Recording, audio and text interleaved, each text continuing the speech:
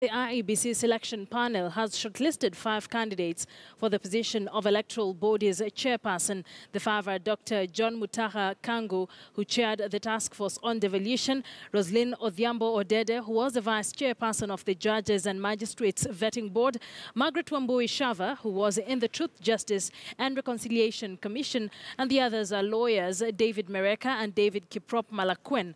13 applicants, including High Court Judge Anyara Emukule, had sought to succeed Isaac Hassan.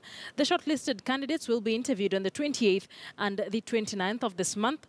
Let's now link up with our senior reporter, Patrick Amimo, with details on how this particular process is going to be conducted. Good afternoon, Patrick. What exactly um, would the interview interviewers be looking for in this particular process of interviewing the candidates?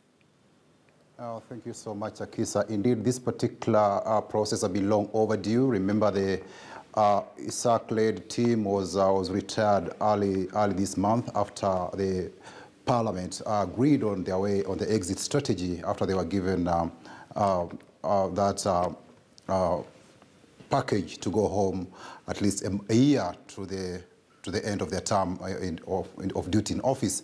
Uh, this particular selection panel, uh, the process, uh, the selection panel came, which is which is formed of interreligious uh, members from the interreligious community, plus also the civil society, has been tasked to come up with a new IEBC. And we saw from the 13 members who applied for the position of chairperson, they've selected five as uh, people who will be interviewed on, the, on that week of Monday and Tuesday, that is the November 28th and 29th.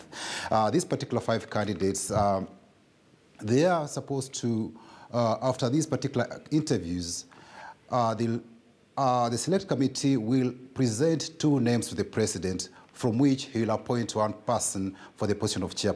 For the position of chair. But in the interim between now and the 28th, members of the public are required to present the, any petitions or memoranda they have about the selected five people on whether they are suitable to serve that particular position appointment or if they feel they are unsuitable, then they can present their reasons to the select panel whose office is at the county hall just adjacent to the National Assembly. So these are the interviews will be slated on that particular Monday after uh, when, when and if the selection panel gets any petitions on the, on the five candidates. Akisa? Well, looking at the previous commissioners, starting from the chair, among the issues that dogged them were integrity issues. Are we expecting integrity to be paramount as uh, the search for the next chairperson of IEBC continues?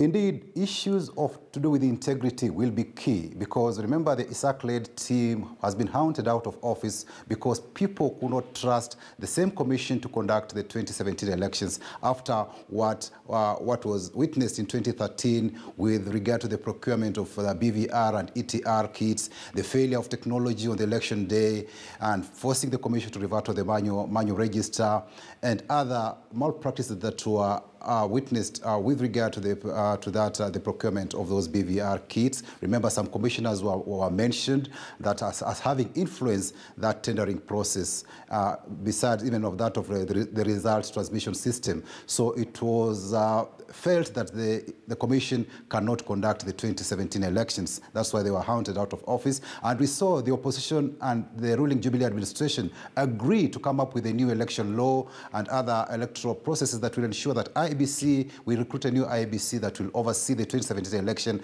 plus new elections or procedures that will ensure that the 2017 polls are free, fair, simple, and satisfy all participants in that particular process. And this matter now, the select panel was very key when they were forming, uh, when they were constituting the, on the first day, they said they'll ensure that members will serve in the commission.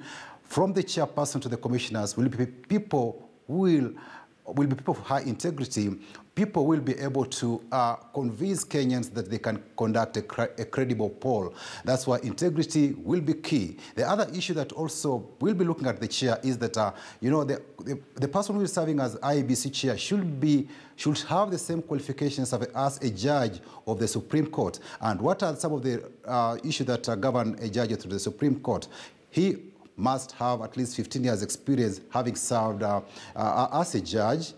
Uh, the other aspect to look at is that the person should be a distinguished scholar, uh, maybe of more than 10 years experience as, as a scholar. And looking from the list of candidates uh, who have been uh, shortlisted, the five, these are people with distinguished, either, uh, either some are distinguished scholars or have at least experience in legal, in the legal profession. That's why uh, they've come up with their names. And according to the timetable, on November 30th, that's when the select panel uh, was expecting to give at least two names of the chairperson to the president, right. out of which he'll appoint one uh, for, for, for, to forward to the National Assembly, that's the Justice and Legal Affairs Committee, for vetting.